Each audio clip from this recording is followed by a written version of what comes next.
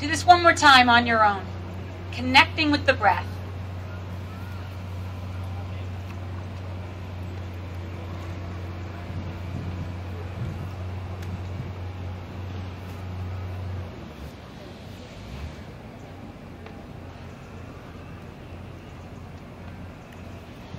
Good. Just hold with your palms right at the heart. Take another deep breath in. Mm-hmm. Now you're going to inhale, bring both arms up over your head. Exhale, fold all the way forward. Bring your hands down back onto the ground. Inhale, look up. Exhale, step back, top of a push up, and just hold here for a moment. Hold here. Now, just in the spirit that there's a lot of you here, and obviously I don't know your practices, let's modify this so that everyone has some sense of how to do this to protect their bodies. So put your knees on the ground. Point your toes away from you. Take a deep breath in. And on your exhale, bend your elbows and lay your whole body down onto the floor. Don't stick your butt up though, just lay flat. Just make the connection with the earth beneath you. Make the commitment of getting wet because it's going to probably happen. now you're going to slide your hands back just a little bit. And inhale, lift your chest up off the ground, but keep your belly plastered right into the earth. And take another deep breath. Shoulders draw back. Kneecaps lift up. Take a deep breath in. Exhale, bring your chest back down onto the floor. Curl your toes under and press back into downward facing dog. And breathe. Now, please feel comfortable to modify anything that you do here. Take a gazillion breaks, do whatever you need to do to really respect your body, any limitations. The intention is just to move and breathe and release a little bit of tension. And so, and also, of course, hold a space. Hold a space within your heart and within this environment for change, for peace, for altruism, and for connection. So if that means just sitting down and meditating and breathing or praying, then you're doing a beautiful expression of yoga for today. Now come back into a push up position. You're either going to put your knees on the ground or take a deep breath in. Exhale, lower to four inches off the floor. It's kind of hovering. Now inhale, come into upward dog or cobra and hold. So if you're in cobra, you're going to keep your belly or your hips on the ground. Otherwise, you're going to keep your arms straight. Take another deep breath in and exhale, downward facing dog. So now those are your options. This style of yoga is called vinyasa flow, and obviously it's a more rhythmic form of yoga. It increases the circulation, the respiration, the lymphatic flow. It helps to bring more elasticity into the muscles and the joints and the connective tissue. The most important thing you can do in this practice and in all yoga is to breathe. So you're going to take another very deep breath, stretch it back, and then walk your feet to your hands. Inhale, look up, and exhale, fold. Inhale, come on up to standing all the way, arms reach, and exhale, pull the energy straight to the center of the heart.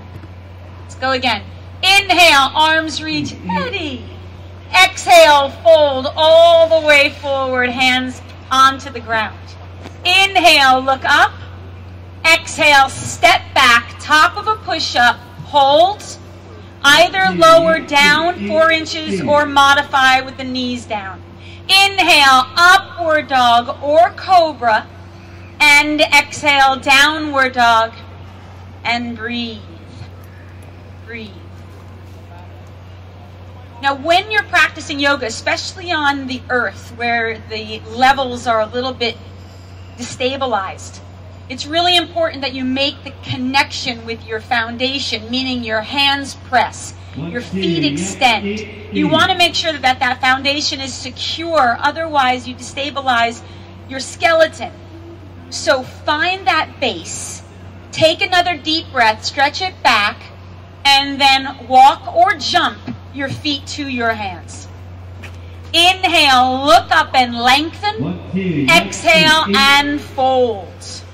Inhale, come on up all the way. Arms reach.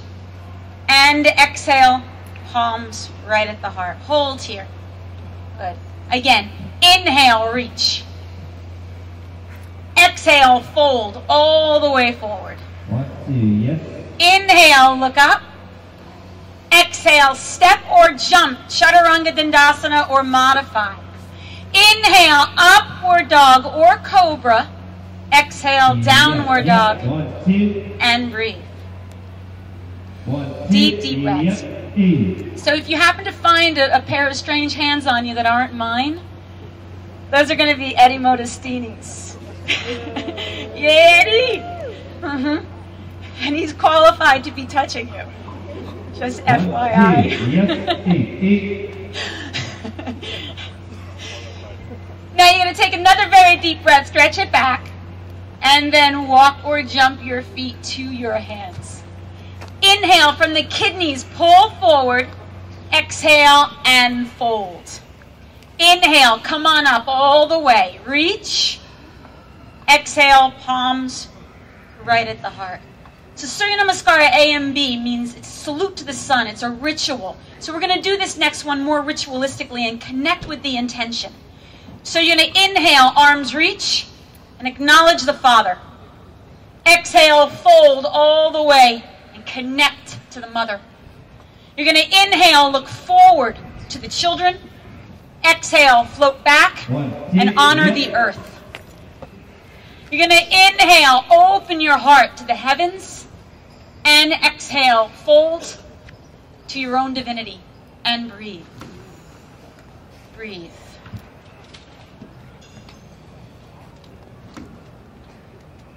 That's it. Take one more deep breath, stretch it back, and then walk or jump your feet to your hands.